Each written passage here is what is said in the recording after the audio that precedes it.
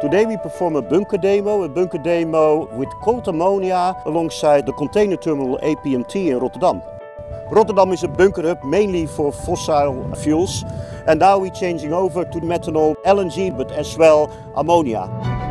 Ammonia is not new. Ammonia is traded globally with over 20 million tons a year.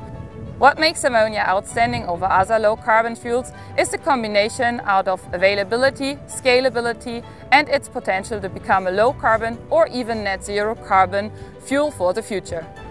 The preparation is uh, done uh, conform the port readiness level. The port readiness level is a nine steps approach for a port to prepare for a sustainable future with sustainable fuels. This is uh, step number uh, six. That means that we developed already our safety framework. We know all the safety conditions that are applicable for safe bunkering in a port. We know where we can allow the bunkering in a port. Today's demonstration is to validate the safety framework and to validate all the procedures we have in Rotterdam now for safe bunkering. Ammonia helps the hardest to abate sectors to decarbonize. That includes the shipping industry, the chemical industry, and especially the energy sector. It's backed up by innovation, regularity support and an increasing demand.